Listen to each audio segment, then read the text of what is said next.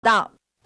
纽约台湾会馆老人中心每个月都会为会员庆生，最近为十一月跟十二月的会员举行庆生大会，即是为长者在老人中心会长热情的邀请之下，一起切蛋糕、欢唱生日快乐歌，包括纽约州众议员、市议员在内的民选官员都来祝贺。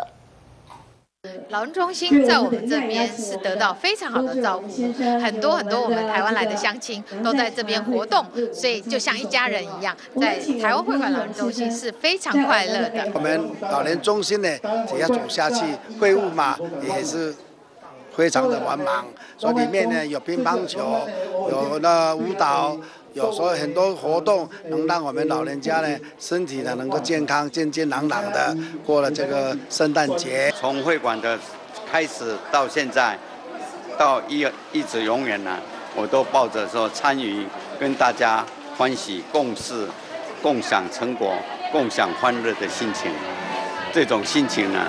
是永远不会变的，而且呢也觉得越来越丰富。祝寿星们。都呃身体健康，精神愉快。那么呃人生就是有生命和生活，我希望大家都活得有意义。